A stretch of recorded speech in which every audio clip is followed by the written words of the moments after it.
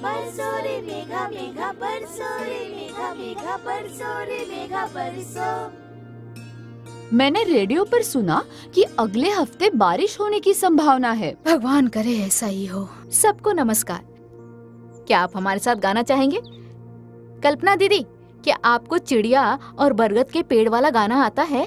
गाना मैं तभी गाऊँगी जब मुझे एक भी काला बादल दिखेगा। ओह, हम सब नाचेंगे और गाएँगे। अगर इस साल बारिश हुई तो। मेरे पति कहते हैं कि हमें एक गाय बेचनी पड़ेगी, ताकि दूसरे वाले को पूरा पोषण मिल सके।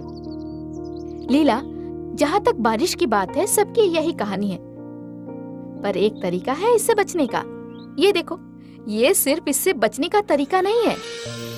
ये तरीका है कृषि में असली उन्नति करने का। किसान सुविधा लोन हमें लोन कैसे मिलेगा? हम छोटे मोटे किसान हैं, जिनके पास खेती के लिए बहुत ज़्यादा ज़मीन नहीं है। हाँ उज्जीवन बैंक का किसान सुविधा लोन एक खास किस्म का लोन है, जो बना है तुम्हारे और मेरे जैसे छोटे किसानों के लिए। बस किसान सुविधा लोन के लिए आवेदन डालो, और तुम्हें बैंक तक जाने की भी ज़रूरत नहीं होगी। उज्जीवन बैंक का प्रभारी तुम्हारे घर आकर तुम्हें ये सरल प्रक्रिया समझाएगा। और लोन के भुगतान एवं अदायगी की अवधि से संबंधित तुम्हारे सारे सवालों का जवाब देगा। और जहाँ तक लोन के भुगतान की बात है उज्जीवन किसान सुविधा के लोन के भुगतान के नियम हर किसान के आय और उनकी माली हालत को ध्यान में रखते हुए निर्धारित किए जाते हैं।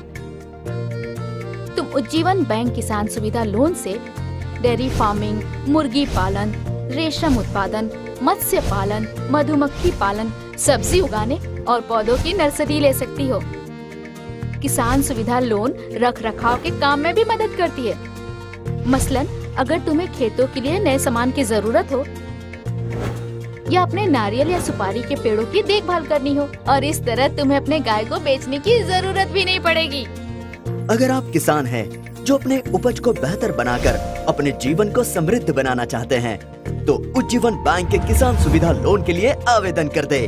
अतिरिक्त जानकारी के लिए उज्जीवन बैंक की शाखा में जाए या कॉल करे one eight zero zero two zero eight two one two one आरोप या जाए W W W dot Ujjivan S F B dot in पर।